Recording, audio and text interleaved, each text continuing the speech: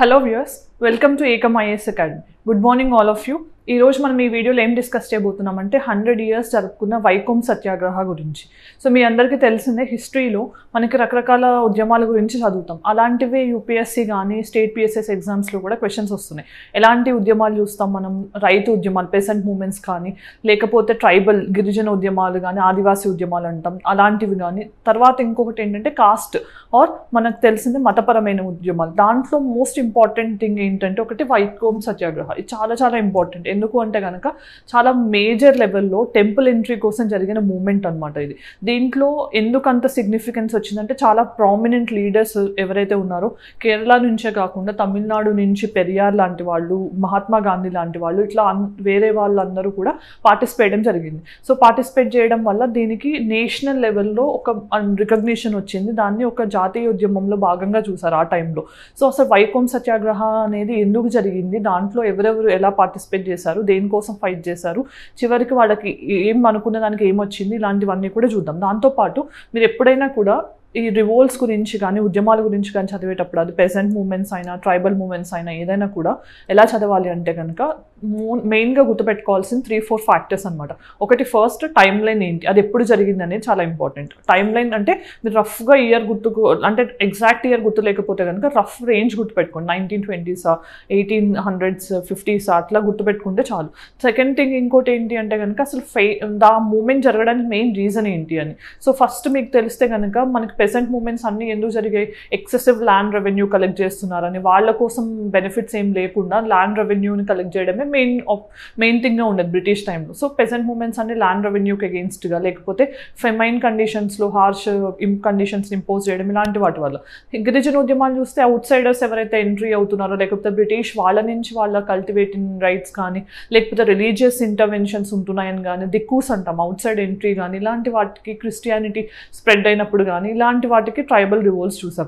So ఇక్కడ cost moments so మనకు తెలిస్తే కనుక కాస్ట్ రిలేటెడ్ మూమెంట్స్లో చాలామంది ఉన్నారు. ఇప్పుడు జ్యోతిబా పూలే ఉన్నారు. మనకి ఆయన కూడా యాంటీ బ్రాహ్మిన్ మూమెంట్ మహారాష్ట్రలో స్టార్ట్ చేశారు. ఇన్ ద సేమ్ టైం మనందరికీ తెలిసిందే మన father of Indian constitution Ambedkar garu ఆయన కూడా మద్దతు సత్యాగ్రహ ఇలాంటివన్నీ కాస్ట్ రిలేటెడ్ మూమెంట్స్ లాంచ్ చేయడం జరిగింది. దాంతో భాగంగా మన పెరియార్ కూడా ఆయన కూడా గుర్తొస్తారు యాంటీ బ్రాహ్మిన్ మూమెంట్ తమిళనాడు రీజియన్లో అలా ఇంకొక ఉద్యమం గురించి గుర్తొచ్చేది ఏంటంటే వైకోం సత్యాగ్రహ. అనమాట సో ఈ కాంటెక్స్లో మనం అసలు ఏం జరిగిందనేది చూద్దాం. సో ఇక్కడ ఫస్ట్ గుర్తుపెట్టుకోవాల్సిన why it is in news okay so Vaikom Satyagraha గురించి తర్వాత దాని బ్యాక్గ్రౌండ్ ఏంటి తర్వాత కోర్స్ ఆఫ్ ద మూమెంట్ అసలు ఎలా జరిగింది అది ఎలా నేషనల్ వైడ్ ఎపీల్ వచ్చింది దాంతోపాటు సపోర్ట్ ఎవరు ఇచ్చారు దీనికి సక్సెస్ ఆఫ్ ద మూమెంట్ ఏంటి కన్క్లూజన్ దాంతోపాటు చివరిలో మనం గాంధీజీ గారి ఒపీనియన్ ఏంటి కాస్ట్ సిస్టమ్ మీద అనేది కూడా చూద్దాం. ఎందుకంటే కనుక యూపీఎస్సీలో మెయిన్స్ క్వశ్చన్స్లో ఒకసారి అడిగారు ఇది. గాంధీజీ అని అంబేద్కర్ గారి వ్యూస్ ఎలా డిఫర్ అవుతున్నాయి కాస్ట్ సిస్టంలో అనేది ఇంపార్టెంట్ అనమాట సో ఇలాంటివి చూద్దాం వీడియో ఎండింగ్లో. సో ఇది చూస్తే కనుక ప్రిలిమ్స్ పేపర్ వన్లో హిస్టరీ ఆఫ్ ఇండియా నేషనల్ మూమెంట్లో మూమెంట్స్ పార్ట్లో అడగొచ్చు లేకపోతే పర్సన్స్ రిలేటెడ్ కూడా అడగొచ్చు. So then TSPSC group one ప్రిలిమ్స్లో history and culture of India సెక్షన్లో రావచ్చు. తర్వాత ఏపీఎస్సీ గ్రూప్ వన్ మెయిన్స్లో పేపర్ టూ హిస్టరీ సెక్షన్లో ఇండియన్ నేషనల్ మూమెంట్ కాంటెక్స్లో కూడా ఇది ఇంపార్టెంట్. సో మనం ఇది ఎందుకు డిస్కస్ చేస్తున్నాం అంటే కనుక వైకోమ్ సత్యాగ్రహ అనేది హండ్రెడ్ ఇయర్స్ దాన్ని లాంచ్ చేసి హండ్రెడ్ ఇయర్స్ అయింది. ఎప్పటికీ అంటే కనుక ఇది మార్చ్ థర్టీయత్ నైన్టీన్ ట్వంటీ ఫోర్లో లాంచ్ చేశారనమాట అంటే మొన్న March thirtieth nineteen sorry twenty twenty ఫోర్కి ఇది హండ్రెడ్ ఇయర్స్ పూర్తి చేసుకుంది. అందుకని ఇది న్యూస్లో ఉంది. సో ఎప్పుడైనా కూడా కమింగ్ ఎగ్జామ్స్లో ఇలాంటివి అడుగుతారు అనమాట ఇప్పుడు మనం nineteen nine nineteen twenty four twenty five పీరియడ్లో జరిగినవి ఏమైనా జాతీయ ఉద్యమానికి సంబంధించినవి అన్నీ కూడా గుర్తుపెట్టుకోవాలి. ఫర్ ఎగ్జాంపుల్ హెచ్ఆర్ఏ ఉంది మీకు గుర్తుంటే. Hindustan republican association. ఇది కూడా నైన్టీన్ ట్వంటీ ఫోర్లో ఎస్టాబ్లిష్ అయింది. దాంతోపాటు మీకు గుర్తుంటే కనుక మన కాంగ్రెస్ నుంచి సెపరేట్ అయిపోయి సిఎస్పి పార్టీ కానీ ఇట్లాంటివన్నీ కాంగ్రెస్ సోషలిస్ట్ పార్టీ కానీ ఇలా వీళ్ళు అంటే ఇంట్రడ్యూస్ చేయడం జరిగింది ఆర్ స్టార్ట్ చేయడం జరిగింది. ఇలాంటివన్నీ కూడా ఎప్పుడైతే హండ్రెడ్ ఇయర్స్ ఆఫ్ ఎగ్జిస్టెన్స్ జరుగుతాయో వాటి మీద ఫోకస్ చేసే ఛాన్స్ ఎక్కువ ఉంటుంది. దాంతోపాటు నైన్టీన్ ట్వంటీ ఫైవ్లో కకోరి ట్రైన్ రాబరీ కేసు జరిగింది. సో ఇవన్నీ కూడా ఇంపార్టెంట్. సో హెచ్ఆర్ఏ ఎవరు దాని ఫౌండింగ్ మెంబర్స్ ఎవరు దాని ఆబ్జెక్టివ్స్ ఏంటి? హెచ్ఎస్ఆర్ఏకి ఎప్పుడు మారింది? దాని తర్వాత ఎవరు జాయిన్ అయ్యారు? ఇలాంటివన్నీ కూడా చూసుకోండి. సో అప్కమింగ్ ఎగ్జామ్స్లో దీని మీద ఖచ్చితంగా క్వశ్చన్ ఉండే ఛాన్స్ ఉంది. దాని తర్వాత మనం అసలు ఇప్పుడు వైకోం సత్యాగ్రహ అనేది ఏంటి అనేది చూద్దాం. సో ఫస్ట్ మనకు తెలియాల్సింది ఏంటంటే కనుక ఈ వైకోం అనేది ఒక టెంపుల్ టౌన్ అనమాట ఎక్కడుంది అంటే కేరళలో ఉందన్నమాట. ఫస్ట్ కేరళలో ఉంది లొకేషన్ తర్వాత ఇది ఎక్కడ ఉంది అంటే చాలా ఇంపార్టెంట్ ఏంటంటే వెంబనాడ్ లేక్ ఒడ్డున ఉందన్నమాట. వెంబనాడ్ లేక్ స్పెషాలిటీ ఏంటి మీకు తెలిస్తే గనక ఇది రామ్సార్ సైట్ అవునో కాదో దీంతో పాటు కేరళలో ఇంకేమైనా రామ్సార్ సైట్స్ ఉంటే మీకు తెలిస్తే ఆన్సర్ చేయండి కామెంట్ సెక్షన్లో. ఇంపార్టెంట్ స్పెషాలిటీ ఏంటి వెంబనాడ్ లేక్కి? ఇది ఇండియాలోనే longest lake. India's longest lake. అంటే పొడవైన లేక్ అనమాట సో లార్జెస్ట్ లేక్ ఏంటి ఇండియాలో అంటే మరి ఊలర్ లేక్. ఇది ఎక్కడుంది? జమ్మూ అండ్ కాశ్మీర్లో ఉంది. సెకండ్ లార్జెస్ట్ లేక్ ఏంటి మరి? చిలిక. ఇదేమో ఫ్రెష్ వాటర్ లేక్ ఇదేమో సాల్ట్ వాటర్ లేక్ దాంతోపాటు మీరు గుర్తుపెట్టుకోవాల్సింది స్మాలెస్ట్ లేక్ ఇట్లాంటివి కూడా అడుగుతారు అనమాట ఓకే ఈ స్మాలెస్ట్ లేక్ అనేది ఎక్కడుంది అనేది ఆన్సర్ చేయండి కామెంట్ సెక్షన్లో అన్నీ నేను చెప్పకూడదు. కొన్ని కొన్ని మీరు కూడా మీ ఓన్గా సర్చ్ చేసేటప్పుడు ఒక ఇన్ఫర్మేషన్తో ఇంకొక ఇన్ఫర్మేషన్ యాడ్ అవుతుంది అనమాట సో ఒకటి సర్చ్ చేసేటప్పుడు ఇంకొకటి చూడటం. సో మీకు మీరు ఓన్గా చూసినవి కానీ ట్రై చేసినవి కానీ ఎక్కువ గుర్తుంటాయి. సో ఇది ఒకటి చూడండి. కేరళలో ఉన్న రామ్సార్ సైట్స్ ఏంటి అనేది కూడా చూడండి. దాంతోపాటు వెమ్మనాడు లేక్తో పాటు చాలా ఫేమస్ లేక్ ఉంది కేరళలో అష్టమూడి లేక్ సో దీని స్పెషాలిటీ కూడా చూడండి. ఓకే ఇవన్నీ కూడా హోంవర్క్ లాగా కన్సిడర్ చేసి చూడండి. తర్వాత అసలు ఏమైంది వెంబనాడ్ లేక్ ఇది ఒడ్డునుందని చూసాం కదా. తర్వాత ఇక్కడ ఏంటి? వైకోంలో చాలా ఫేమస్ ఏంటంటే మహాదేవ్ టెంపుల్ సో మహాదేవ్ అంటే శివుడు టెంపుల్ ఉంది. ఇది చాలా ఫేమస్ సో అప్పుడు వైకోమ్మ అనేది దేని కింద ఉంది అంటే కనుక మనకి ట్రావెన్ కోర్ రాజ సంస్థానం అంటాం కదా.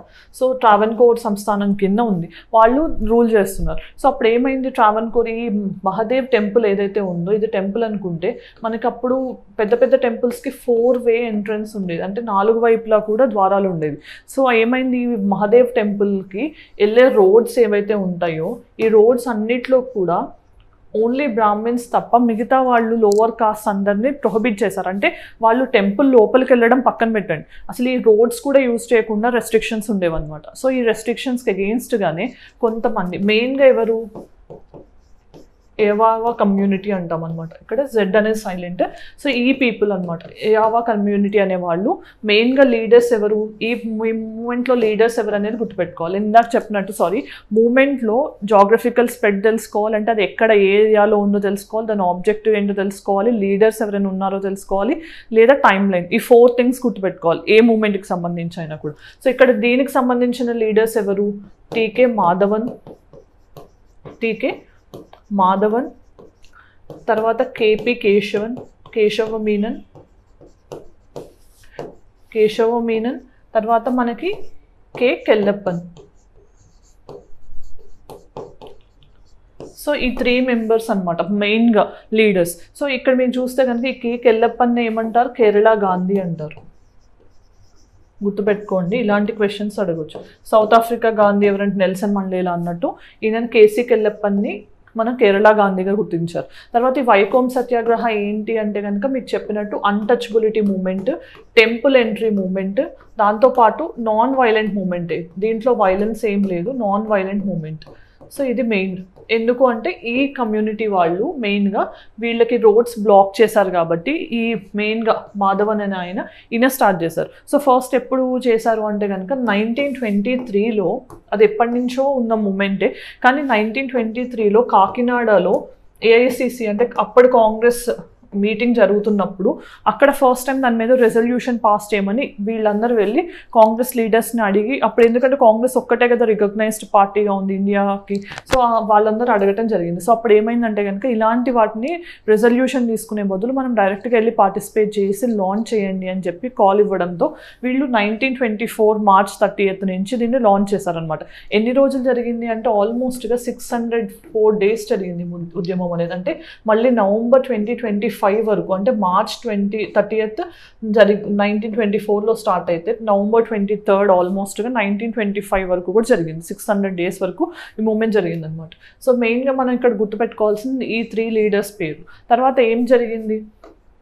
అంటే బ్యాక్గ్రౌండ్ ఓకే వీళ్ళని ఎప్పుడైతే టెంపుల్ ఎంట్రీకి ఆ రోడ్లు కూడా వాడకూడదు అని అన్నారో సో వీళ్ళు ఏంటంటే ముగ్గురు కాంగ్రెస్ ఎప్పుడైతే లాంచ్ చేయమని చెప్పిందో డిఫరెంట్ కమ్యూనిటీస్ నుంచి అంటే లోవర్ కాస్ట్లుగా పరిగణించబడిన వాళ్ళలో ఒక ఒక్కొక్కళ్ళని పిక్ చేసుకుని అంటే మూడు రకాల కమ్యూనిటీస్ నుంచి ముగ్గురిని పిక్ చేసి రోజు కావాలని ఆ రోడ్లలోకి పంపించారనమాట సో వాళ్ళని పంపించడము వాళ్ళని అరెస్ట్ చేయడము ఇలా రోజు జరుగుతూ ఉండేది. సో ప్రొటెస్ట్లో భాగంగా. అలా జరుగుతూ జరుగుతూ వచ్చేసరికి ఏమైంది? కొన్ని రోజుల తర్వాత ఈవెన్ పెరియార్ మనందరికీ తెలిసిందే కదా ఈవి రామస్వామి నాయకర్.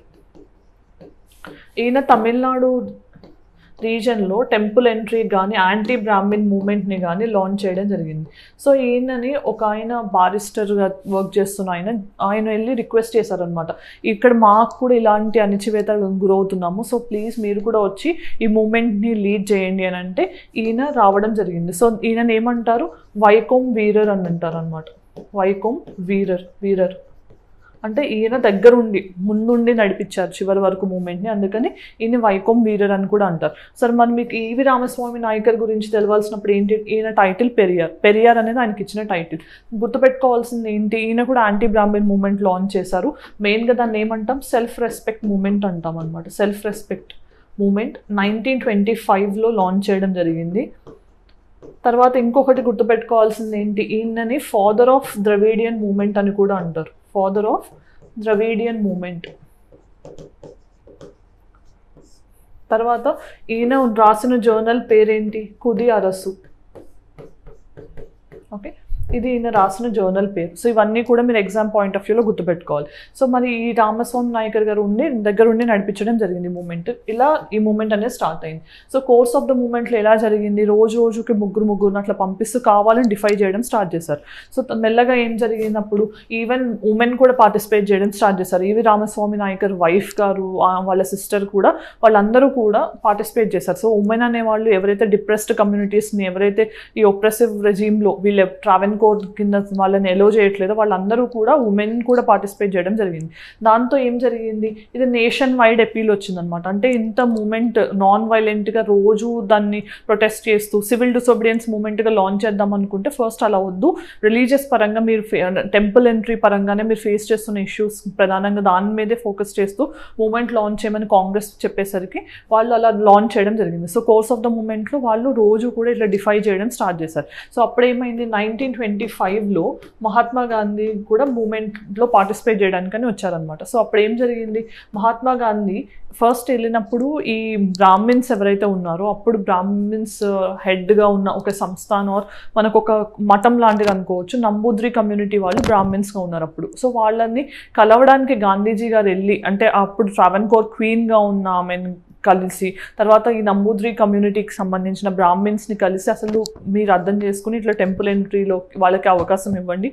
ఆ రోడ్లను వాడటానికి కూడా వాళ్ళకి అవకాశం ఇవ్వండి. అని నెగోషియేట్ చేయడానికి వెళ్ళినప్పుడు అసలు గాంధీజీ గారిని కూడా ఆ ఆశ్రమంలోకి వాళ్ళు ఎలో చేయలేదు. ఎందుకు అంటే ఆయన కూడా నాన్ బ్రాహ్మిన్ అనే రీజన్తో అలా ఉండేదనమాట అలాంటి అప్పుడు ఉన్న పరిస్థితి. సో గాంధీజీ గారిని కూడా ఆ ఆశ్రమంలోకి ఎంటర్ చేయలేదు అని చెప్పి రికార్డ్స్ చెప్తున్నాయి. సో ఇట్లా నైన్టీన్ ట్వంటీ ఫైవ్లో వాళ్ళు నెగోషియేట్ చేయడానికి ఒప్పుకోలేదు. సబ్సీక్వెంట్గా ఏమైంది? సో అప్పుడు ట్రావెన్కోర్ సంస్థానం కానీ లేకపోతే అప్పుడు బ్రిటిష్ ఉన్న వాళ్ళు కానీ వాళ్ళు ఏం చేశారు? ఒక అగ్రిమెంట్ సైన్ చేసుకున్నారు. ఆ అగ్రిమెంట్ ప్రకారం ఏంటి? ఇప్పుడు మనకి నార్త్ ఈస్ట్ వెస్ట్ మొత్తం ఫోర్ వేస్ ఉన్నాయి కదా టెంపుల్కి ఫోర్ రోడ్స్ ఉన్నాయి కదా. దాంట్లో ఈస్ట్ తూర్పు వైపు మొత్తం కూడా బ్రాహ్మిన్స్కి మాత్రమే ఉంచి అంటే ఆ రోడ్ వీళ్ళెవరు వేరే వాళ్ళు వాడకూడదు. సో నార్త్ వెస్ట్ సౌత్ కానీ ఈ మూడు కమ్ రోడ్లు ఉన్నవి అందరికీ ఓపెన్ చేశారనమాట అంటే నాన్ బ్రాహ్మిన్స్ కూడా దీన్ని యూజ్ చేసుకునే విధంగా మనం ఓపెన్ చేశారు. సో ఈ అగ్రిమెంట్ ద్వారా టెంపుల్ ఎంట్రీ అనేది పాసిబుల్ అయిందనమాట సబ్సీక్వెంట్గా టెంపుల్ ఎంట్రీ అయింది. ఇప్పుడు ఎక్కడికైతే గాంధీజీ గారిని ఎలో చేయలేదో అది ఇప్పుడు కమ్యూనిస్ట్ పార్టీ ఆధ్వర్యంలో అది ఉందన్నమాట. సో ఇది బ్యాక్ డ్రాప్ అనేది. సో ఇప్పుడు సపోర్ట్ ఏంటి అంటే కనుక ఈ మూమెంట్కి ఎవరెవరు సపోర్ట్ చేశారో నేను చెప్పాను. రామ్ రామస్వామి నాయకర్ అంటాం పెరియార్. సో ఈయన మెయిన్గా లెడ్ చేశారు. మీకు గుర్తుంటే కనుక ఈ రామస్వామి నాయకర్ గారికి గాంధీజీ గారికి కొన్ని విభేదాలు కూడా ఉన్నాయి. అదేంటి అని నేను లాస్ట్లో చెప్తా. కానీ ఈయన నైన్టీన్ ట్వంటీ ఫైవ్లో ఇంతకుముందు కాంగ్రెస్లో మెంబర్గా ఉండి నైన్టీన్ ట్వంటీ ఫైవ్ ఫైవ్లో కాంగ్రెస్కి రిజైన్ చేసి బయటకు వచ్చేసారు. ఎందుకు అంటే కనుక ఇది ఓన్లీ బ్రాహ్మణ్ ఇంట్రెస్ట్ని ప్రొటెక్ట్ చేస్తున్న పార్టీ అని ఆయన భావించి నైన్టీన్ ట్వంటీ ఫైవ్లో బయటకు వచ్చేయడం జరిగింది. సో రామస్వామి నాయకర్ గారినే నేను చెప్పినట్టు ఇందాక వైకోమ్ వీరర్ అంటారు. ఎందుకంటే ఆయన మెయిన్గా ఉండి లీడ్ చేసిన మూమెంట్ ఇది.